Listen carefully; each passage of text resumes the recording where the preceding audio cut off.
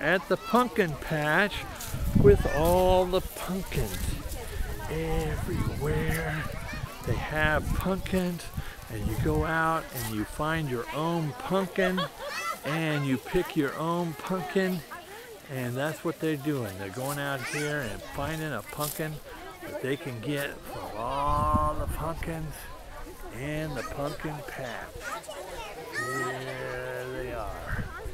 At the Wirt Farm. This is the hayride to the pumpkin patch where you pick your own pumpkin.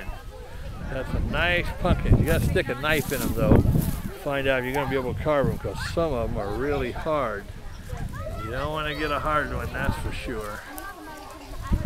Yeah, look at all pumpkins as far as the eye can see. Pumpkins, pumpkins everywhere, and a pumpkin pie for me.